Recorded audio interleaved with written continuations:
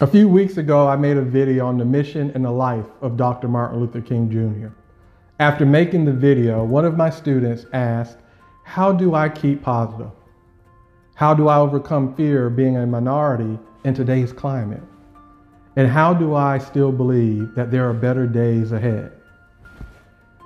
Being that it's Black History Month, and after thinking of the questions, I realized the questions really came down to one How do I overcome and how do we overcome fear? And the answer is the only way to defeat fear is to tell it no. No, we as a people will not take shortcuts on the path to righteousness. No, we will not break the rules that protect us from our basic instincts of selfishness. No, we will not let desperation destroy moral authority. We all have been guilty of these things. Some say in life that there are no second chances. Experiences have shown me that this is true. But now we can only look forward. We must become torchbearers, casting the light of life, liberty, and joy, so we may all see our path to a lasting peace.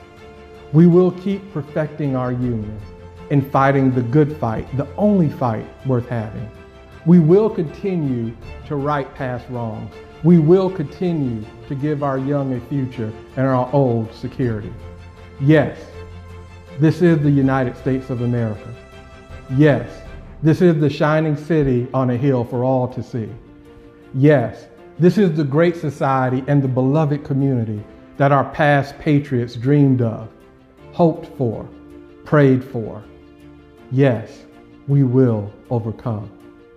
Yes, that is who we are and who we will always be.